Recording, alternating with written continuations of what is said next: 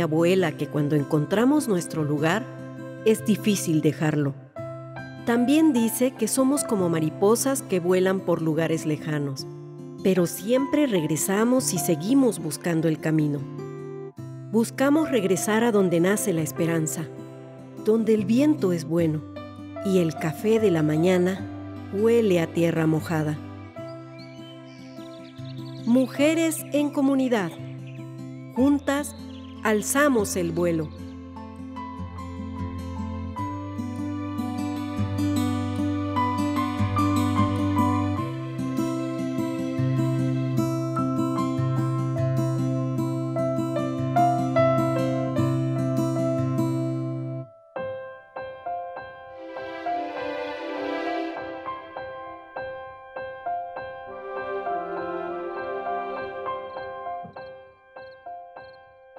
¿Qué contrastes tiene la vida, no creen?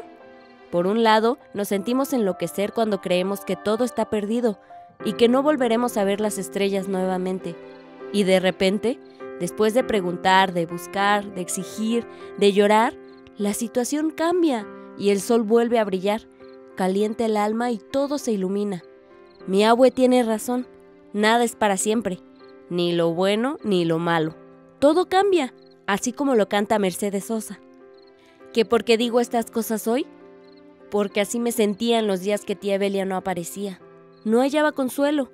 Por más que buscamos, preguntamos en diferentes lugares e hicimos ceremonia para pedir ayuda a las ancestras, cuando creímos que no la volveríamos a ver, la encuentran, inconsciente, pero con vida, justo a tiempo. Ya se imaginarán el descanso que sentimos. Ahora las lágrimas que salían eran de alegría y de agradecimiento. Todo se iluminó a mi alrededor, pero no me sentía totalmente feliz porque no me gustaba ver sufrir a mi amiga Mesli, que creyó haber encontrado al amor de su vida. Se imaginó que se casarían y viajarían juntos al norte, y serían el uno para el otro, como dicen los cuentos de princesas. Pero la vida real no es así. Resultó que Fede es una persona con una historia oscura, violenta, que no sabemos ni de dónde viene ni a dónde va. Lo peor no fue que lo agarraran vendiendo droga en el pueblo, sino que quiso ocultar una ropa manchada de sangre que dicen que es de mi tía Belia cuando fue atacada y secuestrada, y no ha querido decir nada en su defensa. Todo está muy raro. Lo único cierto es que al pueblo no puede regresar. Por eso Mesli está deshecha. Dice a los cuatro vientos que está segura que Fede no le hizo nada a mi tía Belia. Yo le creo, ¿Qué mal le pudo haber hecho mi tía Belia para que reaccionara de esa manera? No tiene sentido. Además, Fede ni la conoce, ni sabe dónde vive, ni por dónde acostumbra a caminar. Más bien, pienso que alguien se está escondiendo detrás de él, y como no quiere hablar ni con Mesli ni con nadie, no sabemos nada. A los únicos que conocía cuando llegó a Yucunino eran a la familia de Leoncio. Lo recibieron, le dieron trabajo y un espacio para dormir, todo está muy raro. Y peor se puso cuando le pregunté a Leoncio qué sabía de Fede. Me respondió con puras groserías, diciéndome que no me metiera en lo que no me importa. Y tiene razón. A mí qué me importa, Fede. Lo que me importa y preocupa es mi amiga, que está sufriendo mucho. Pero como dice mi abuela, es lo mejor que le pudo haber pasado a Mesli, aunque ella no lo crea así. Yo le digo que aprovechemos estas circunstancias y nos vayamos juntas a estudiar a como era nuestro plan inicial, que nos vayamos lejos de los chismes y regaños de los mayores. Mientras son peras o son manzanas, lo que nos queda es echarle ganas al trabajo final de la escuela, registrar la participación de la fiesta patronal y luego grabar la designación de las nuevas autoridades y sus proyectos. Así no hay olvido.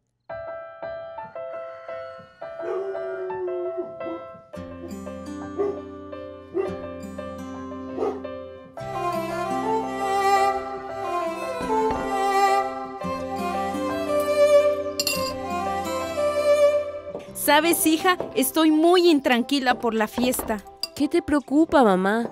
Acuérdate cuántas veces has participado en esta fiesta. Pero es que ahora queremos hacer algo que no se ha hecho antes en la comunidad. ¿Cómo qué? Estamos pensando hacer algo que llame la atención de toda la población. ¿En serio? A ver, cuéntame. Pues resulta que nos dimos cuenta que estamos muy asustadas y enojadas por lo que le pasó a Evelia. Sí, se sentía en el ambiente la intranquilidad de varias mujeres que dieron su punto de vista en la asamblea. Sí, y por eso pensamos que teníamos que hacer algo para sentirnos más seguras y manifestar nuestro miedo a la violencia, el enojo que sentimos porque nos quieren callar y no queremos una siguiente víctima. Yo acabo de ver un video en donde muchas mujeres en Chile y en otras partes del mundo cantaron una canción sobre la violación. Déjame te lo enseño.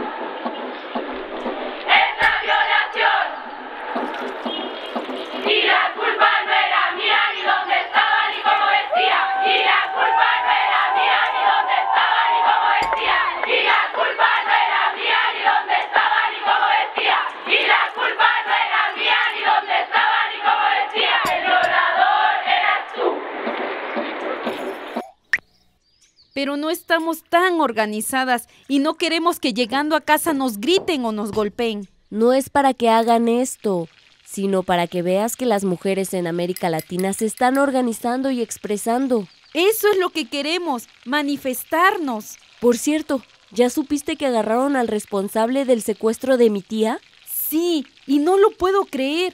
Dicen que fue el novio de Mesli, ¿verdad?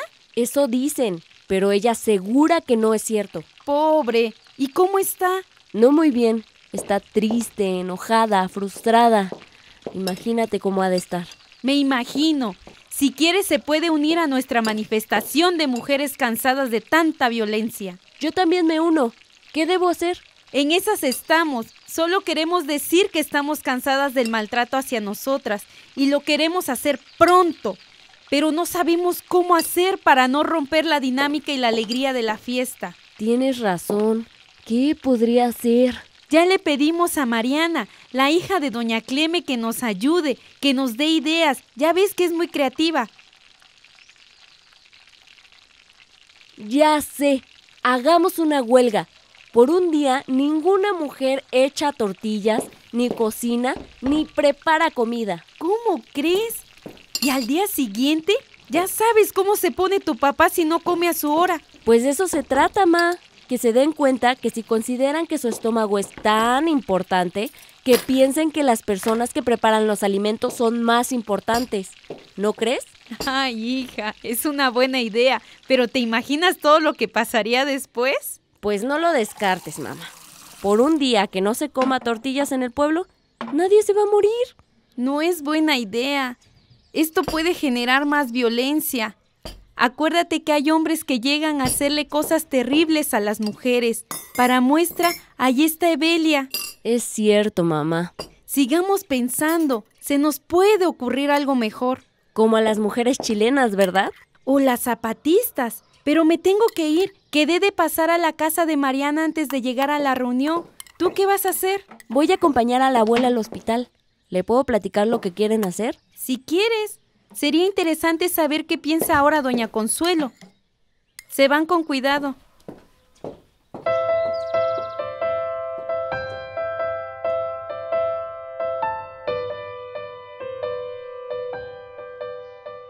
¿Lista, abue? ¿Nos vamos? Ya trajeron a Evelia, está acostada. ¿Ya despertó? Sí, pero está dolorida. ¿Puedo pasar a saludarla? ¿Sí? Sí, y llévale este caldito. A ver si quiere comer.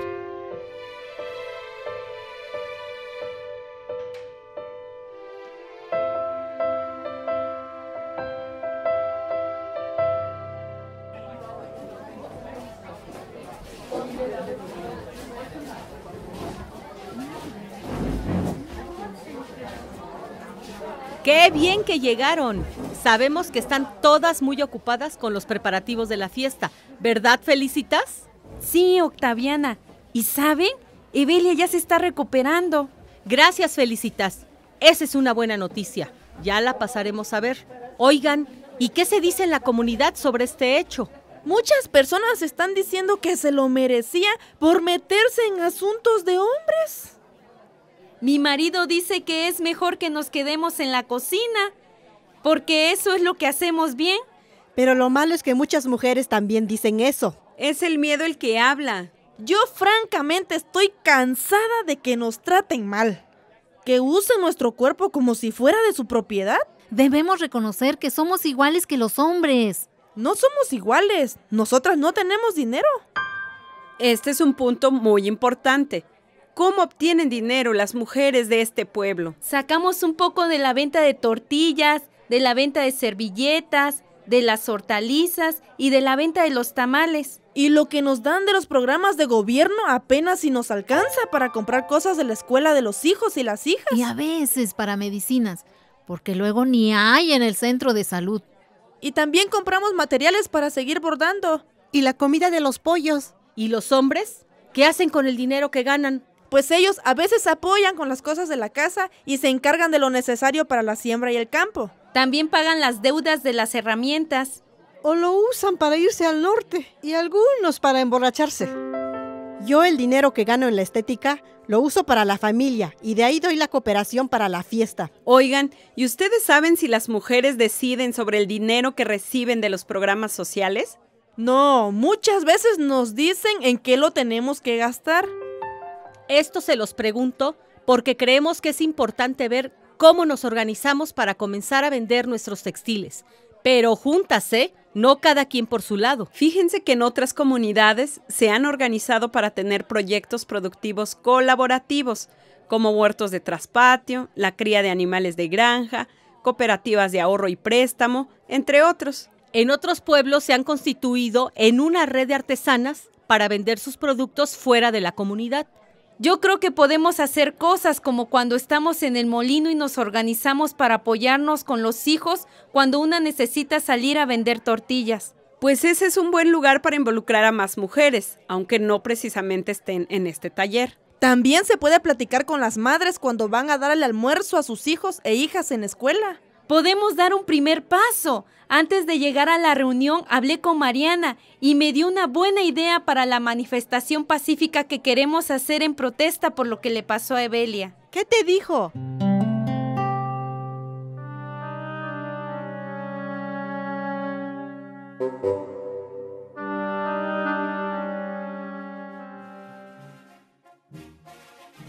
Todo salió como lo planeó, compadre. A ver si así aprenden las mujeres a obedecer y quedarse calladas. Lo dice por la señora Evelia, compadre. Por ella y por todas las que se les ocurra cambiar nuestras costumbres y desobedecer a los hombres. Pues una lección para no olvidar quién manda aquí. Espero que ahora sí lo piense dos veces antes de andar organizando a las mujeres. No se preocupe, compadre. Yo creo que después de esto, ni van a ir y mucho menos hablar en la asamblea. Pues brindemos por eso, compadre. Salud, compadre. Evelia no supo ni por dónde le llegó la lección. Y tan lista que se cree. Salud, compadre. Salud. Porque aquí los que mandan son los hombres.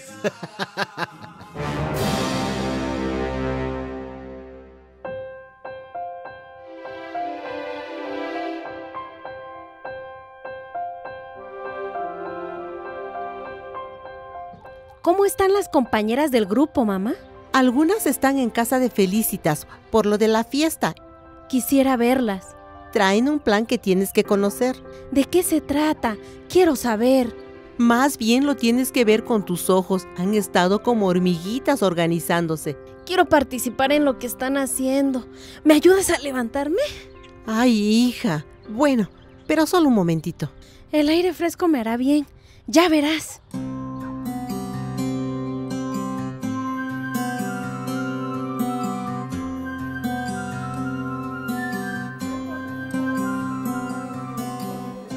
Y así fue como a partir de la idea de Mariana, decidimos que el día de la fiesta cada una colocaría fuera de nuestras cocinas un mandil, un delantal o algún trapo de tortilla bordado como señal de protesta.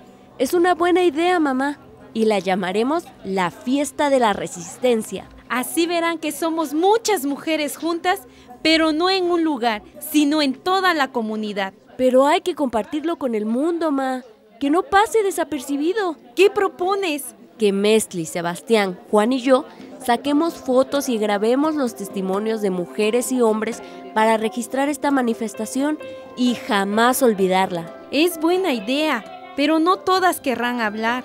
Están asustadas. Con las que quieran. Estoy segura que tía Belia estará muy orgullosa de todas nosotras. Estoy de acuerdo contigo. Ah, y se me ocurre que podemos grabar un programa de radio para dar a conocer lo que se quiere expresar con este acto. ¡Qué buena idea! Gracias, hija. Ahora sí, que comience la fiesta.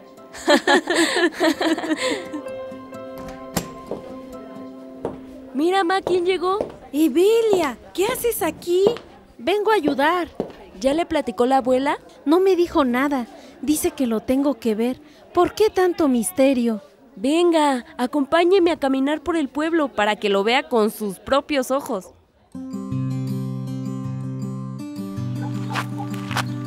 ¿Qué tengo que ver? No veo nada diferente. Fíjese bien, voltee a ver en cada casa. ¡Wow! ¡Qué maravilla! Mandiles colgados. Y ya verá cuando se haga de noche.